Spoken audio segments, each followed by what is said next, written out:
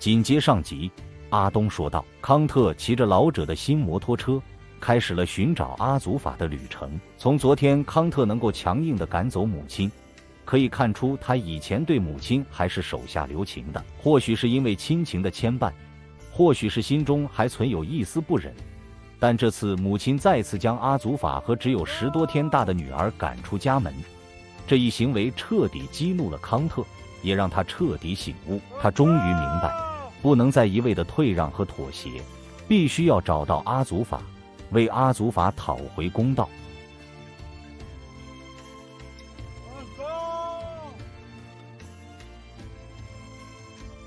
康特现在可以说是对母亲深恶痛绝，曾经的亲情在母亲一次次过分的行为下被消磨殆尽，取而代之的是满腔的愤怒与失望。母亲可能也没有想到康特昨天会如此坚定。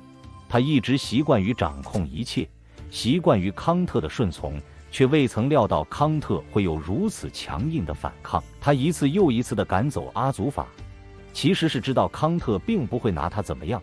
就像之前小编说的，母亲的肆无忌惮正是康特给他的底气。他仗着康特的软弱与孝顺，肆意妄为地伤害着阿祖法和他的孩子。然而如今康特的愤怒和强势，其实让母亲也束手无策。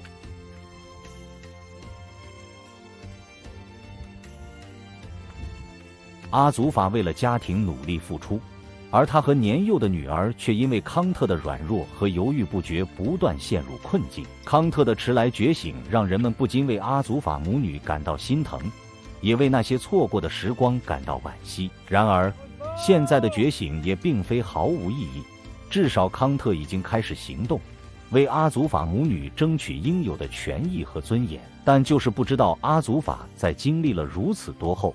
还会不会原谅他呢？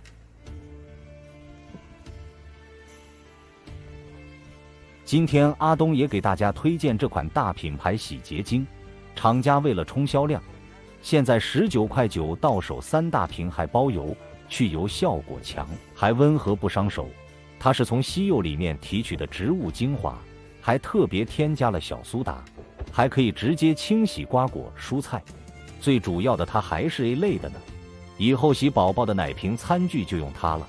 阿东已经上架橱窗，趁着优惠还在，赶紧选购吧。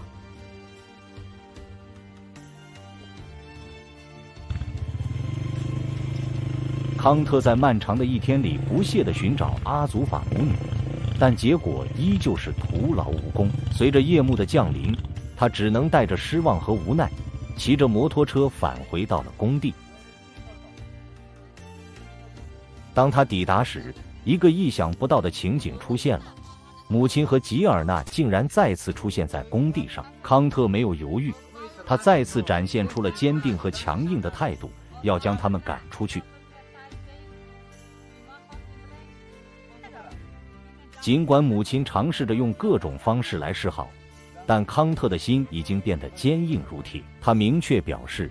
在母亲连自己仅有半个月大的亲孙女都能狠心抛弃的时候，他们之间的亲情已经荡然无存。